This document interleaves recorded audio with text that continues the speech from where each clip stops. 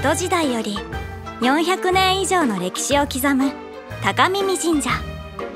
そこに祀られたるご神体。それは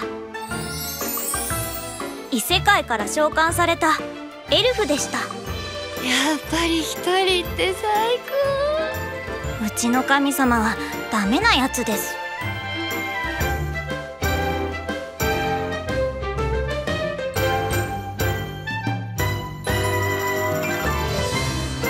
江戸と令和をつなぐゆったり下町コメディ始まります。こんなエルダですがなぜか町内で人気です。私エルフだしご利益ないけどな。それを言うな